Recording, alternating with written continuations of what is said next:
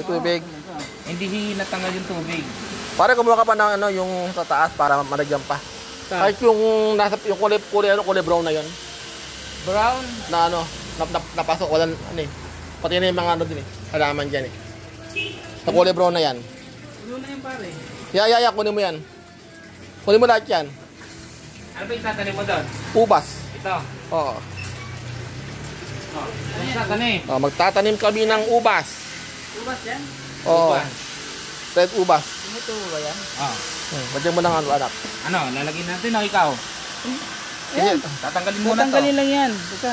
Meron pa, yan. Hindi, ihukay na. Ihukay Ano, na. tatanggalin na. Teka, ihukay ko muna. Sandali lang, mamaya na. Tatanggalin ko na. Tanggalin mo na. Okay na yun pare. Ma- Malalim na yan. Ayan. Mamaya mo natanggalin. eh. Angat ko ha. Sige. Ubas pala, magkano bilhin mo dyan?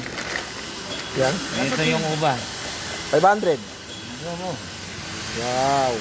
Ubas. Red ubas. Oh. Layo na kasi ng lupa ako nito. Nasa Cebu eh. Probinsya pa yun.